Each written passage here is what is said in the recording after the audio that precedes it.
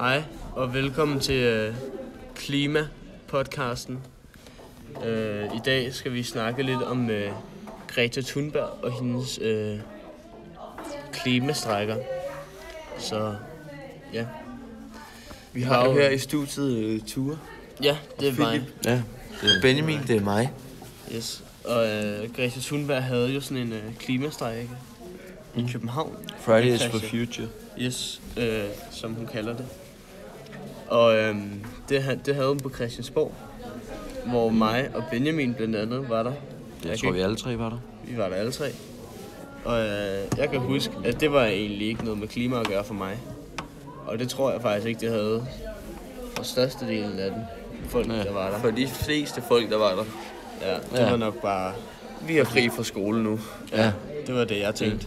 Og jeg det var en tænkte god undskyldning til forældrene. Det var Ja. det, det var. Præcis. Så sagde jeg bare, nej men mor, det er meget vigtigt for mig det her, fordi det er min fremtid. Og så Så fik man ligesom fri fra skole på den måde. Og så rendte man rundt inde på strøget.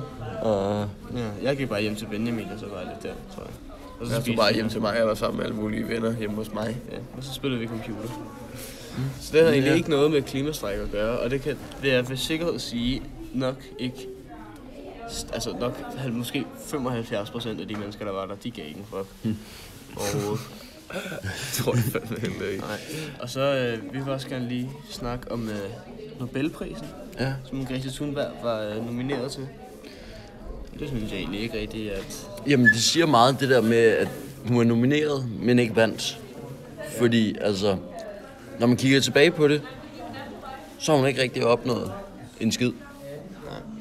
Det er det. Hun har fået sagt nogle ord, men der er ikke rigtig nogen, der har lyttet til hende. Og det synes jeg, det er sådan meget historien bag Greta Thunberg. Eller, Og altså- det vil også være sådan lidt øh, ekstremt, hvis man taler om den 16-årige pige. Hun har ændret verden ved at pjekke for skole. Ja. Det, øh, så synes jeg, at vi det faglige niveau, øh, eller det savlige niveau i verden og få Nobelprisen, de vil have taget et stort slag, hvis de rent faktisk har lavet hende vinde. Men hun fik jo også den alternative pris. Ja, eller... Øh, Det er sådan en lille præmie til lige at sige, Ja. at øh, ved du hvad? Vi anerkender dig, Ja. men, men ikke nok til, at vi rent faktisk anerkender dig som en vigtig Fordi du person. er teenager, og vi lytter ikke til dig. Nå, men, altså, det Se er lidt sådan det, en... de. Nå, men det er lidt sådan en... Fint, du har nogle gode pointer, men nu ændrede jeg ikke rigtig en skid. Så nu får du den her, i stedet for Nobels fred, fredspris, som er rent faktisk den, der tæller for noget. Det er jo Som, altså, politikerne, som bare overhovedet ikke lytter til, jeg gad godt at til os. Jeg gad godt at møde en politiker, der rent faktisk havde lyttet til Greta. Og været Jamen- sådan, ja, og ikke bare sagt, jamen det er flot, ej hvor er du dygtig, og så bare gået hjem, og så tænkt over et eller andet med, Problemet hvordan med de skat kan skal det betale skat, eller et eller andet, hvordan de kan lave skat Greta, på en eller anden måde. det er hun ikke rigtig... Altså, hun siger, at der er der et problem, og de fleste politikere, nu siger jeg de fleste, fordi vi har desværre Trump, som sidder i, altså vi har en del politikere, som sidder i ekstremt høje magtpositioner, ja. som har valgt at ignorere de her problemer, fordi de bare er skudt i ruten og er håbløse.